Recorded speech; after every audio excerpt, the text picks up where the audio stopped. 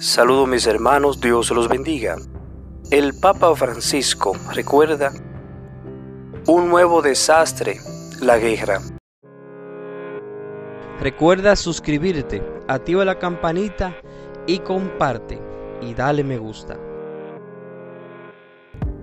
El Santo Padre Francisco recordó que la guerra en Ucrania se cobra víctimas inocentes y propaga la inseguridad no solo entre los directamente afectados, sino de forma generalizada e indiscriminada hacia todo el mundo. Para el Papa, esta guerra representa una derrota para la humanidad en su conjunto, y no solo para las partes directamente implicadas. Aunque se han encontrado una vacuna contra el COVID, aún no se han encontrado soluciones adecuadas para la guerra.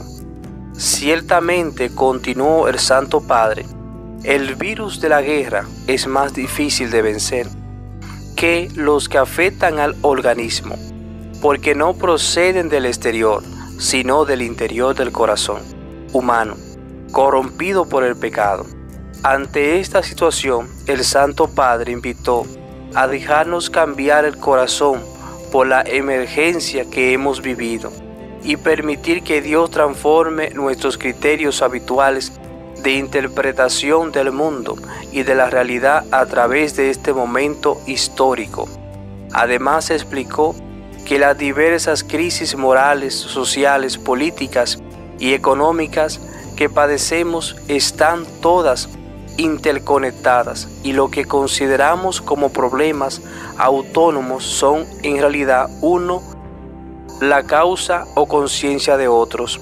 Por ello hizo un llamado a afrontar los retos de nuestro mundo con responsabilidad y compasión.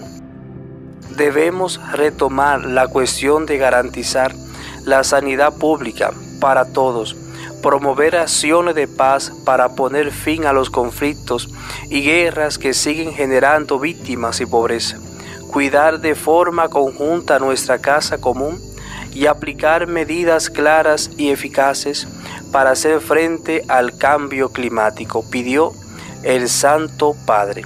Asimismo, animó a luchar contra el virus de la desigualdad y garantizar la alimentación y un trabajo digno para todos apoyando a quienes ni siquiera tienen un salario mínimo y atraviesan grandes dificultades. Los invito a compartir esta gran noticia y mantener la oración por el Santo Padre que tanto lo necesita. Dios los bendiga.